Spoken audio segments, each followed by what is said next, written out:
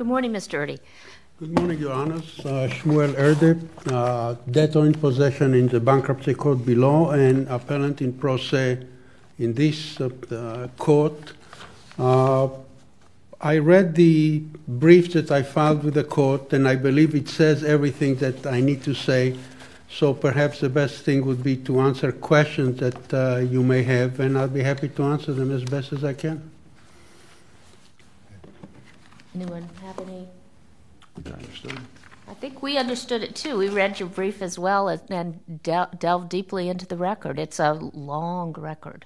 Thank you. So we have nothing to ask you. So if you have nothing to say to us, we'll have it be submitted. I submitted. would just be repeating what I say in the brief. I believe it's it's written better than I can speak. So uh, if you don't have any questions, I'll wait for your decision. All right, thank you very much, and we will very take it under submission.